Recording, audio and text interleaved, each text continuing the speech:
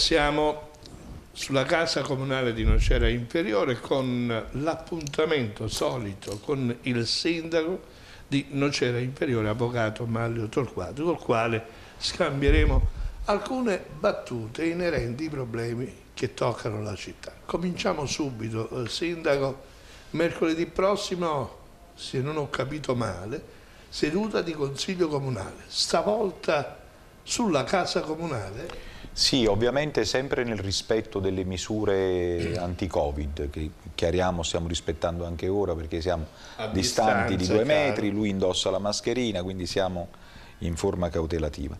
Eh, lo faremo presso la Casa Comunale, mh, mm, ovviamente chiusi al, al pubblico, con diretta streaming, sarà mercoledì mattina alle 9.30 e quindi procederemo a due approvazioni importanti che sono peraltro pro propedeutiche alle assunzioni dell'ente e quindi ehm, al piano del personale, nel bilancio consolidato e poi la razionalizzazione delle società partecipate e due regolamenti disciplinari sul cimitero, eh, regolamento cimiteriale in adeguamento e sulle lampade votive.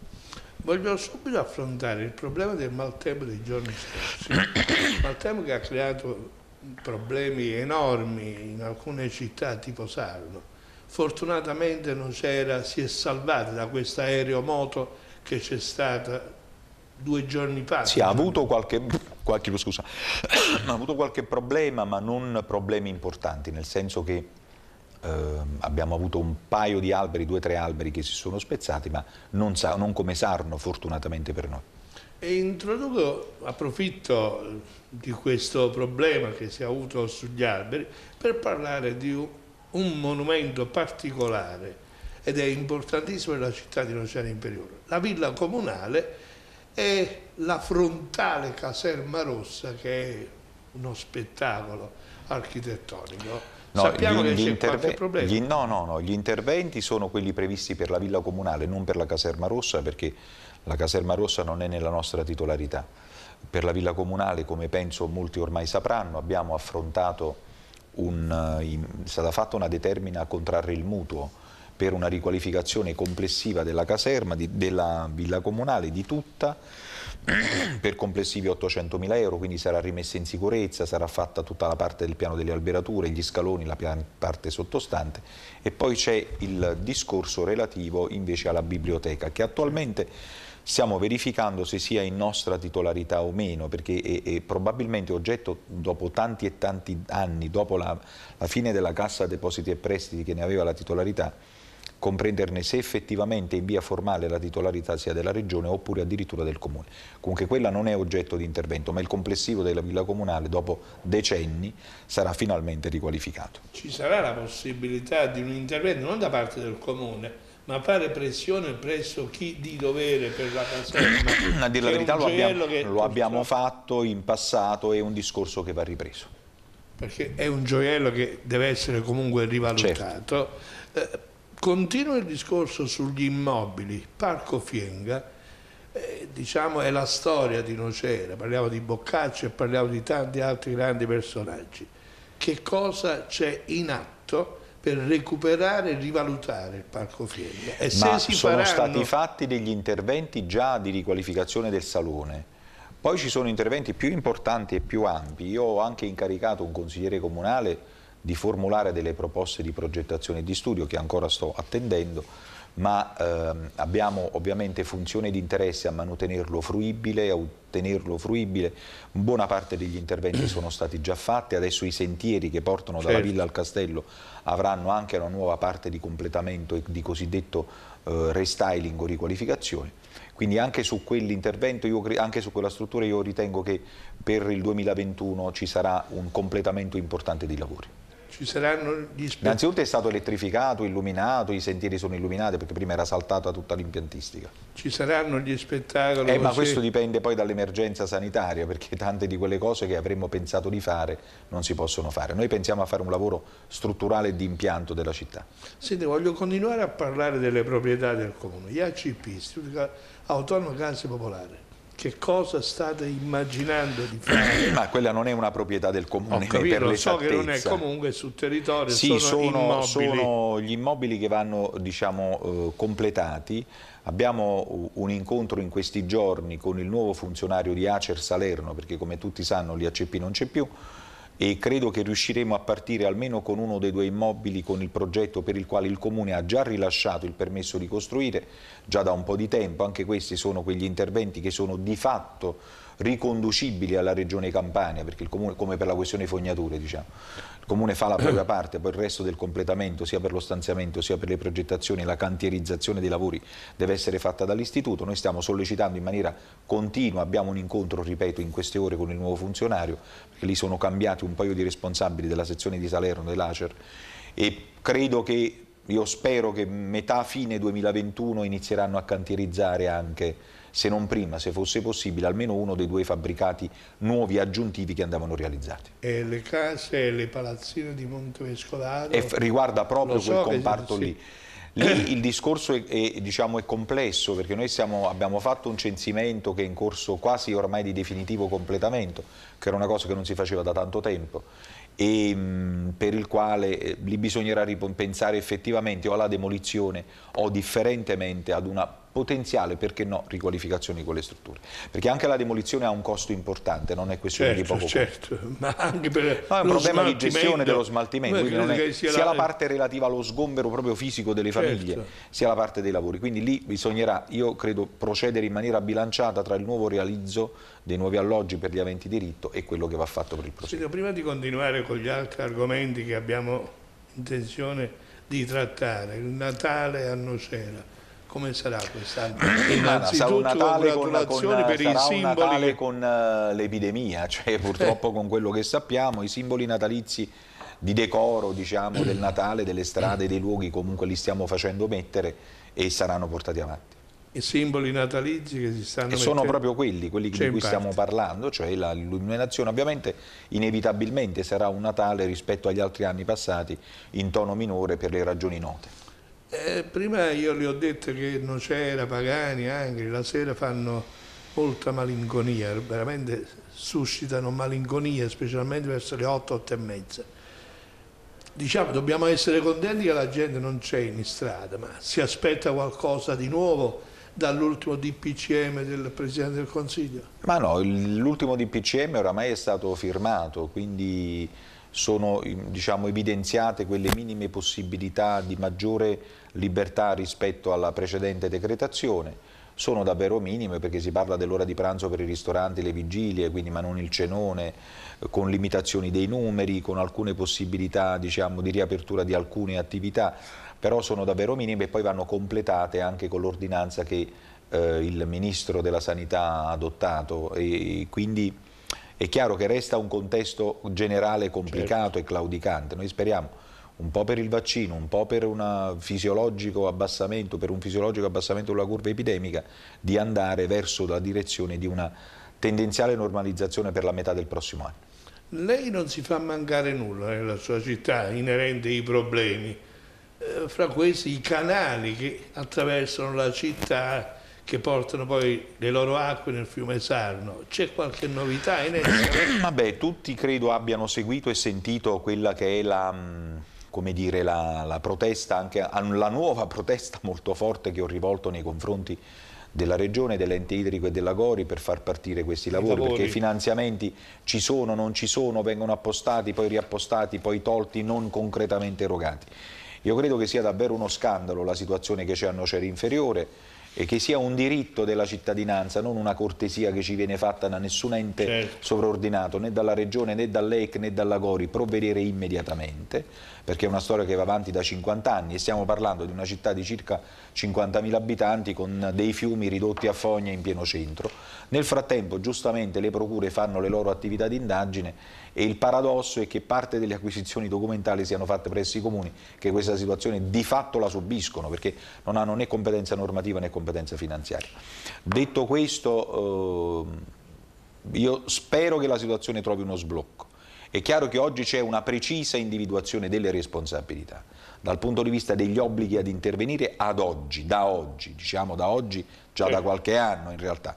Oggi la Regione deve e può finanziare le opere, oggi l'ente idrico deve e può approvare i progetti definitivi, oggi la Gori deve e può mandare in affidamento i progetti di secondo e terzo lotto e soprattutto contrattualizzare i progetti di primo lotto stralcio. Sono azioni che non fanno i comuni, i cittadini debbono saperlo. Io ho dichiarato addirittura che se fosse ulteriormente necessario come forma di protesta provvederei a eh, scendere al fiume per svolgere lì la mia attività amministrativa quotidianamente. È chiaro che non mi piacciono le teatralità, ma se non c'è una, una forma diversa per allertare questi pigri, dico io, nel senso di fronte ad una problematica così grave e non resta altro che quello.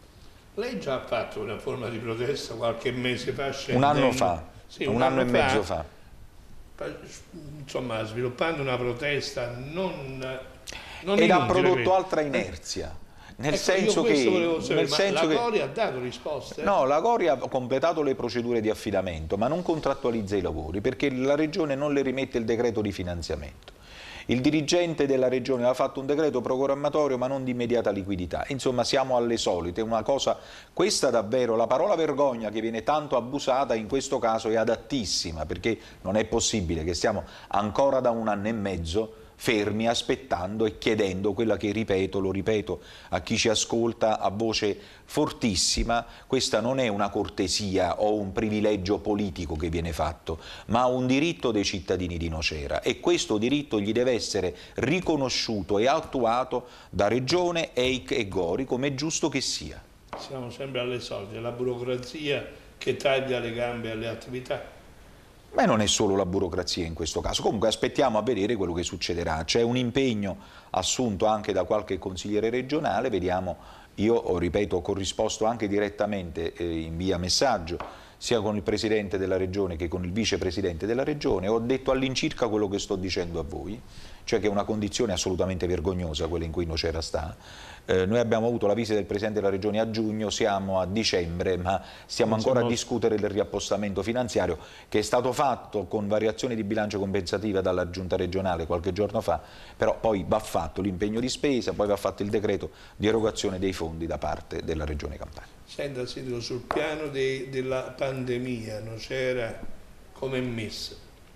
Non c'era un alto numero di contagi, notoriamente io volutamente, in parte volutamente, in parte per serietà non do un bollettino, primo perché il bollettino quotidiano oramai è diffuso tramite un'agenzia di stampa eh, tramite, da, dalla Regione Campania. Certo. Ma il numero aggiuntivo dei contagi, l'ho spiegato più volte ai cittadini, lo ripeto, non dice nulla perché non ci dice i guariti, non ci dice gli ospedalizzati, non ci dice i nuclei familiari e soprattutto noi siamo stati messi nella condizione oggettiva di non riuscire, non è un compito doveroso nostro, ma lo facevamo in affiancamento a fare il tracciamento dei contagi. Questo è un sistema che è saltato, la sanità territoriale al di, al di, là della buona volontà di chi ci lavora, che è tantissima, medici ed amministrativi, non è stata messa nelle condizioni di funzionare per tempo ed adeguatamente. Questo è stato diciamo, uno smacco per tutti noi perché come avevamo ben gestito la prima fase, così non siamo stati nelle condizioni di poter dal punto di vista dei tracciamenti e della ricostruzione ben gestire la seconda. Io sono dell'idea, l'ho detto in più di un'occasione, che questa al di là del problema dei medici ospedalieri e degli infermieri, che è la parte finale del problema e che pure è importantissima, perché se mancano chiaramente c'è una difficoltà a fornire assistenza, se mancano i posti letto, ma pare che non sia così, c'è una difficoltà a fornire assistenza, ma c'era un problema preliminare, quella di tenere sotto controllo l'epidemia nell'ambito della sanità territoriale. Ma è chiaro, che se i medici di sanità territoriale sono pochi non riescono a fare i tracciamenti. Certo. Se i tamponi si fanno in ritardo i tracciamenti non hanno più valore perché quelli arrivano dopo 4-5 giorni, nel frattempo il soggetto magari si è mosso e non lo siamo riusciti a contattare. Se non, non, siamo riusciti, non si è riusciti con le USCA ad intervenire per tempo, perché che fanno le USCA?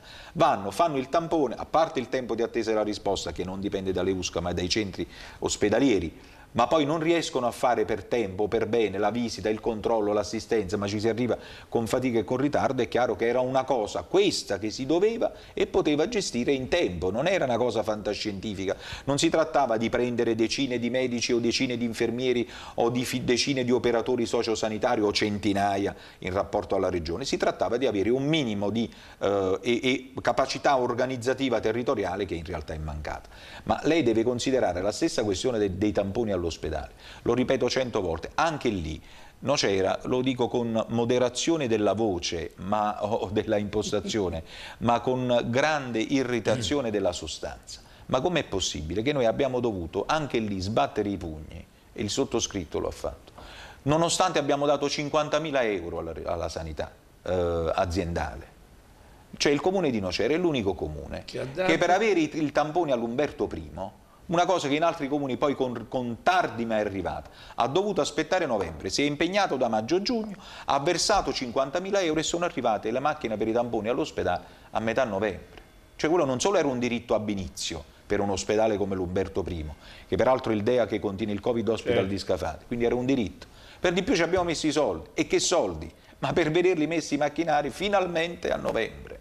Cioè, è chiaro che di fronte a tutto questo c'è una evidente disattenzione o, o ritardo, diciamo, per un territorio che dovrebbe essere un territorio nevralgico per la provincia di Salerno e per la regione Campania. L'agronocerino, che questo a Salerno faccia piacere o meno, è il comparto territoriale interprovinciale più importante che c'è in Campania come eh, cosiddetta zona media la chiamano certo. geograf geograficamente della regione, siamo un comparto territoriale che ha 300.000, 400.000 abitanti circa se ci si mette Cava dentro nel raggio che va da Cava a Scafati è la parte che ammortizza i problemi, gestisce i problemi, eh, ha la demografia più problematica, la densità più problematica, lo sviluppo industriale più importante, la mobilità più complessa certo. di tutta la regione, tra, nel raggio che va da Napoli a Salerno e c'è una distrazione eh, sostanziale sì, con ogni tanto occasionali forme di attenzione, ma eh, non c'è il ruolo politico e questo è un grosso problema.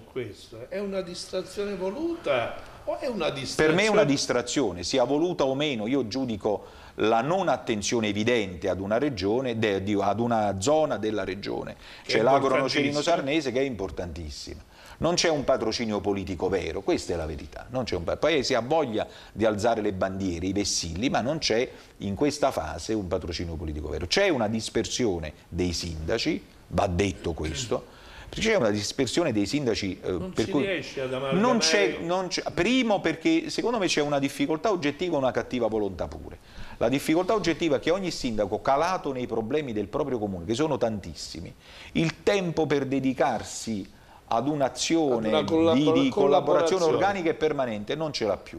I luoghi deputati a fare questo dibattito sono scomparsi, c'erano prima le agenzie di sviluppo locale del territorio, la ex Agroinvest, certo. di quello, del quale magari certo. potremmo dire qualche cosa, per cui siamo in difficoltà, insomma, ecco, obiettivamente. Lei accetterebbe il ritorno ad una società tipo Agroinvest? No, ad una società tipo Agroinvest assolutamente no, perché noi non ne abbiamo più necessità. Poi mi permetterà di chiarire anche la convenzione, perché ehm, che abbiamo stipulato con Agroinvest a titolo gratuito, avendo ceduto le quote societarie, questo va chiarito, ma ehm, una forma di concertazione permanente, una conferenza dei sindaci dell'Enea Nord va fatta. È chiaro che se poi alcuni sindaci scappano da questa eh, da questa forma di organizzazione perché magari vengono richiamati da qualcuno o magari non si sentono parte, è chiaro che il problema c'è.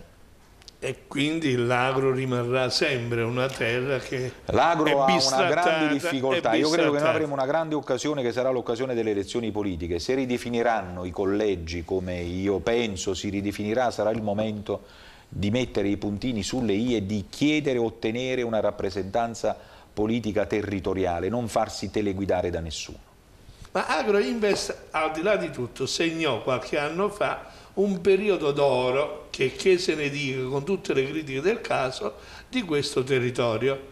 Quindi un Vabbè, ritorno, poi no, con tutte le critiche del caso no, no. Quella, quella funzione è finita e noi l'abbiamo chiusa eh, cedendo le quote societarie, dismettendo la titolarità certo. delle quote societarie. Oggetto di una polemica recente di qualche consigliere di opposizione, qualcuna più intelligente si è letta le carte e forse ha capito lo spirito, sempre la stessa. Ma invece eh, c'è qualcuno che è sempre lo stesso, non sa che deve dire, o gli stessi non sanno che devono dire e dicono cose in libertà. Ehm, noi non abbiamo fatto, eh, abbiamo stipulato una convenzione recente con Agroinvest a titolo gratuito perché per valorizzare alcune esperienze professionali di quella società, Certo. ma senza onerare il comune di partecipazioni e quote societarie, quindi senza oneri per l'ente, e quindi avvalendoci di una collaborazione importante che per di più ha svolto anche una funzione qualificata assessorile presso questo comune, abbiamo stipulato una convenzione gratuita, ma non come ho letto dal giornale, dai titoli del giornale, perché è evidente che oramai nelle redazioni le notizie non le seguono manco più, insomma oramai forse è meglio Facebook che leggere i giornali la mattina, questo lo dico a chi ci ascolta. prego, No, no, io purtroppo è una- è- di ufficio perché no, ma è, proprio d'ufficio no, se fa no, la no, difesa, ma io no. leggo delle bestialità sui giornali che dico ma veramente, ma questi la mattina, mi ricordo di D'Alema, quando diceva ai giornalisti lavorare non le sembra dire troppo, insomma, perché non- alcuni non lavorano. Vabbè, ma non possiamo- Ma lo dico con spirito volutamente polemico, perché se uno non inquadra manco la notizia, non si legge manco la carta e quando se la legge sbaglia a leggerla è un problema. È chiaro che poi c'è tutto il meccanismo a catena di redazioni che fanno i titoli a cavolo e non sanno manco di che parlano. Anche qui i giornali in, in genere è sempre lo stesso. Eh, Senza generalizzare, no, no, specificamente, proprio specificamente è un quotidiano provinciale importante, ma che costantemente titola in modo improprio e costantemente porta notizie in modo parziale o non completo o non ben trasferito. Che cosa abbiamo fatto? Abbiamo fatto una cosa semplice, abbiamo eh, convenzionato con la società a titolo gratuito, senza oneri per il comune, eh, non la gestione delle aree industriali, come ho letto balordamente scritto qua sopra, ma la collaborazione professionale per le attività di infrastrutturazione del comune, poiché la società Agroinvest era una società di trasformazione urbana, quindi tutto ciò che riguarda la Certo. trasformazione urbana, e ha professionalità valide, noi a titolo gratuito abbiamo instaurato un rapporto collaborativo con l'ente comune per dare un supporto operativo, collaborativo, consulenziale in proprio, gratuito, al- a- in forma convenzionale con la società, che sarà un supporto operativo. Questo è, non, non- è che facciamo le aree pippa ad Agroinvest, no, non fa, chi ha letto questo non si è letta manca la convenzione prima di scrivere i, titoli dei giornali o degli articoli, perché è tutto ciò che riguarda l'infrastrutturazione, a modo semplificativo, abbiamo detto aree industriali, viabilità di raccordo intra-extracomunale, edilizia sociale popolare, eh, infrastrutture, per esempio il sistema fognario. Sistema, sì. E, e quindi ci sono una serie di attività. Vogliamo- Che tristezza, lo voglio dire, che tristezza. Me lo sconforto mi No, viene di fronte all'apatia qualunquistica di cui non sono solo portatori alcuni sedicenti politici delle nostre città, ma anche soggetti qualificati che dovrebbero trasferire notizie complete. Allora, io... eh, Cioè questo vanifica, perché c'è una difficoltà, proprio mi deve credere. Eh, Poi si può subire l'opposizione. Guardi, io sto menzionando, sono un due o tre volte già che l'ho fatto e non per fare propaganda a nessuno. Sto menzionando una persona che è un consigliere comunale, per, dire, per fare un esempio di un atteggiamento a parte mia imparziale, che è mio oppositore, anche molto ostico, ma che viva Dio, se legge una carta e, e- e sappiamo di che parliamo quando ci scontriamo. Qua non si sa manco di che si parla. Quasi sempre Sì, vi qua scontrate. molti, chi, chi parla, chi dice, chi scrive, non si sa che si parla, ma è meglio Facebook, è più divertente, almeno uno vede le ricette della cucina. Io quello che eh, ci tengo a chiarire che la- ehm, il campo giornalistico è variegato, Ah, certo. quindi non... Si dice che la politica sia scaduta, ma il giornalismo è scaduto assai prima. ha seguito la politica, Eh, ha seguito eh, la politica. o l'ha preceduta. E a proposito di politica, eh, i malumori, le No, non mi interessa, non mi interessa. Siamo a Natale, non mi interessa. Parliamo di pace? No, no, no, non mi interessano proprio. Non le inter- No. Al prossimo Consiglio Comunale di che cosa parlerete? Abbiamo, come le dicevo prima, il consolidato che è funzionale al piano delle assunzioni e il piano di razionalizzazione delle società partecipate. Piano delle assunzioni perché anche... Beh, il com- comune è un comune in turnover, si dice, cioè un comune che sta smaltendo il personale precedente per anzianità di servizio o per quote 100. Quindi abbiamo necessità. Quanti danni ha fatto la quota 100 secondo lei? No, io invece sono un sostenitore di quota 100. Sì? Sì, Però ovviamente lo sono, lo sono- ormai allora, sono svuotate. lo lasci dire a chi ha svolto, mi permetto di dire, attività amministrativa per nove anni circa, otto anni e mezzo ad oggi. Ehm, lavorare con un personale che è costretto a rimanere in servizio Ah certo, non, tra i manca 64 e i l'entusiasmo. 67 anni è un assurdo. E parliamo della pubblica amministrazione. Immaginate anche lavori più di fatica o più di concetto. Avere l'obbligo nel rapporto dipendente a non poter andare in pensione se non a quella età è una ferocia economicista frutto di un paese sballato in un'Europa più sballata del nostro paese. E questo è il risultato che noi abbiamo prodotto. È chiaro che per tenere dentro, poi vogliamo, da una parte vogliamo assumere i giovani, dall'altra parte vogliamo tenere i vecchi e non, non, si può, come dire, stare svegli la notte e svegli all'alba, o si dorme la notte certo. o si dorme all'alba. Quindi siamo veramente, siamo dominati purtroppo dall'economia, dal fi, dall'economia finanziaria, siamo dominati da logiche economiciste e produttiviste che io abborro totalmente e che sono, poi producono frutti perversi. Sono, sono, prevalgono i criteri quantitativi nella nostra società, non quelli fondi, qualitativi. Secondo lei nelle amministrazioni comunali per poter assumere una nuova classe Ma noi siamo un comune in riequilibrio. Io, Io ricordo, non, non credo che fosse Catone Luticense, ma non ricordo se Catone Luticense o Catone il censore, ehm, l'evocare continuamente il Delenda Cartago io non dico il Delenda Cartago, però ricordo sempre da dove siamo partiti. Questo comune era al dissesto, al dissesto. Cari nocerini, quando vi lamentate dopo otto anni, dice ma questi che ancora stanno a lesinare la coperta, ma perché il dissesto non è che finisce, o il predissesto nel nostro caso, in un anno, due anni, tre anni, produce i suoi effetti. Quando una certo, famiglia si è riempita di debiti, delle volte i debiti durano per una o due generazioni ed è quello che abbiamo diciamo, subito noi. Io ero per dichiarare il dissesto, le parti politiche che mi sostenevano erano contrarie alla dichiarazione di dissesto, io ero per dichiarare il dissesto perché comprendevo la faticosità dell'azione di recupero e quindi non per una volontà persecutoria nei confronti di chi mi aveva preceduto, assolutamente, ma per segnare una demarcazione. Questo non è stato fatto, non è stato fatto per volontà politica dell'amministrazione mia, eh, più che mia personalmente, Adesso, dopo anni, stiamo comunque a gestire le difficoltà, che non sono quelle dei 50 milioni di disavanzo per nuovo indebitamento che ha sostenuto qualcuno, senza probabilmente leggere con attenzione gli atti di consuntivo e di bilancio, ma ovviamente del riordino che è stato fatto anche sotto dettatura della Corte dei Conti, ma che comunque diciamo, segna una grande difficoltà del nostro ente a lavorare in un certo modo. Questo non significa fare opere, non fare opere pubbliche, lo dico a qualche consigliere di opposizione mm. il quale dice ah ma allora non dobbiamo fare i mutui, allora facciamo, facciamo deperire il patrimonio, teniamoci le strade con i buche, teniamoci il castello che se ne cade, la villa comunale che non si può riqualificare, eh, teniamoci le piazze che non si possono sistemare, non facciamo i sottoservizi, non completiamo un servizio di ripedonalizzazione della città, anche quello è un servizio di tutela ambientale in modo indiretto, perché pedonalizzare i centri significa svelenirli da un certo sistema di inquinamento veicolare, significa fare poi degli altri lavori. Senta Sindaco, una domanda che potrei anche non fare, ma è una mia curiosità. Via Solimena è la strada, credo, più ricca di storia della città di Nocera, mm. però mi sembra un poco abbandonata, messa è in periferia quasi. No, via Solimena è una strada a cui io tengo molto, anche se può non sembrare. Per, per, via Solimena è, eh, come dire, compromessa nelle sue condizioni attuali dalla permanenza di una caserma che è figlia di nessuno. Il Ministero se la gestisce, il Ministero se la tiene, il Ministero non la cura, intanto sta in casa nostra. Quindi ripeto anche questo, il Comune non lo può fare, il Comune non ha la titolarità di quel bene non ha la titolarità finanziaria. Ma è di proprietà del Ministero, del Sì, demanio, lo, gliel'ho detto più volte, è ministero. demaniale, demaniale, sì. quindi del governo, dello Stato certo, centrale, certo.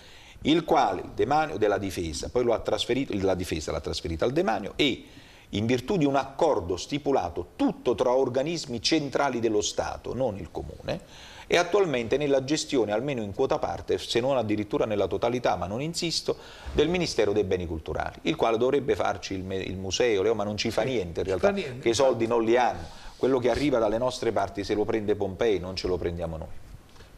Allora, un'ultima cosa, la storia si allunga verso il Castello Fienga e verso alcune zone, tipo la tomba di, del duca di Carafa, che è stato dominatore della città di Nocera, ma credo che ci siano poche persone che si interessino alla storia di questa città, non la propagano, non la fanno conoscere ai ragazzi. No, c'è un'attenzione, no, se ne è parlato per tante cose, per tanti aspetti. Non, Eppure non ci sono personaggi ci sono attenzione, c'è stata molta attenzione. Io credo che... Eh, Insomma, dovremo aspettare una stagione diversa. Questa è stata una stagione amministrativa e continuerà a esserlo in quest'anno e mezzo per mettere le basi di un riordino finanziario, di una riorganizzazione del personale che era fondamentale, di un riordino della pianificazione urbana perché non si faceva. E, insomma, sono stati messi dei pilastri alla casa, delle regole. Ora, fare la casa bella, qualcosa la proviamo a farla noi, eh, perché lo, lo abbiamo detto con i lavori. Fare la casa bella competerà eh, ad altri, a chi verrà dopo, certo. Guardate, lavorare per dieci anni eh, in questa città non è stato facile, tra tanti aspetti. Mettere, rimettere a posto la società partecipata, stiamo facendo il nuovo piano industriale per i rifiuti, siamo usciti da consorsi e società territoriali che erano oramai archiviabili, soprattutto la patto territoriale, non tanto Agroinvest, ma la patto territoriale. Eh, siamo usciti dalla seta, siamo eh, come dire, abbiamo preso in house totale la gestione del servizio dell'igiene urbana, abbiamo dovuto rifare l'inventario del patrimonio che, che, è in corso d'opera. Questo mi permette anche di chiarire un altro punto sul Parco Giochi Canzolino. Ho letto un articolo comparso in questi giorni dove una consigliere di opposizione diceva eh, sì ma voi non siete eh, titolari dell'area, sì è vero però dovrebbe anche dire per onestà di intenti che in realtà la non titolarità è frutto del mancato trasferimento da parte dei, di coloro che avevano avuto la concessione a beneficio del comune, quindi un, una compromissione della posizione del comune non c'è grazie a Dio, se no non facevamo il mutuo dei 200.000 euro per farci i lavori sopra, quindi diciamo una cosa un po' imprecisa, quindi è bene essere precisi. Anche qui, se magari il giornalista si prendeva la diligente briga di sentire anche la voce dell'amministrazione, scriveva cose più complete e più precise, ma oramai cioè, abbiamo perso la speranza. Uh, quindi io mi affido a questa trasmissione non perché qualcuno dice scioccamente eh, ah ma Telenuovo viene a fare l'intervista alla comunicazione no, istituzionale però... e lei dice quello che vuole. No, al contrario, io completo le notizie che altrove non troviamo scritte e non tutti vanno sull'albo pretorio a leggere le carte. Se si pensasse questa trasmissione possa essere... posso fare una cosa, posso fare una cosa. Uh, in vista del, del, Natale, noi dobbiamo completare l'altra mezz'ora istituzionale. Sì. Voglio fare una trasmissione televisiva con tutti i consiglieri di opposizione eh, Vabbè, per un servizio istituzionale, così vediamo che ci vengono a dire, ma devono dire le cose vere, e poiché so che le cose precise, la legge dice giusto uno, forse uno e mezzo, una, forse una e mezzo. Così opposizione e di maggioranza, vengono tutti con i capigruppo e faranno i loro auguri e diranno le loro cose buone e cattive. Lanciamo una specie di momento costituente in diretta televisiva. Benissimo, io sono disponibile. Perfetto, allora ci mettiamo d'accordo. D'accordo e faremo questa trasmissione. Allora adesso ci salutiamo. D'accordo. Per l'Immacolata, adesso ci salutiamo. Ci salutiamo e facciamo gli auguri. Facciamo gli auguri, poi farò un messaggio di auguri per Natale e per Capodanno come abbiamo sempre fatto. Facciamo adesso per l'Immacolata, che è una festa a cui molto... Facciamo l'Immacolata è tra pochi giorni, cioè tra tre giorni infatti.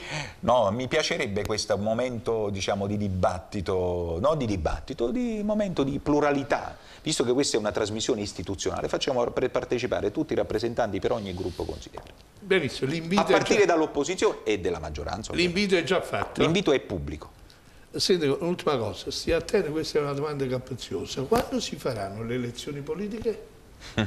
ah, non lo so. Credo che la, il, non lo so, mi sono, non mi sono mai preoccupato della scadenza delle politiche. Qualche anno?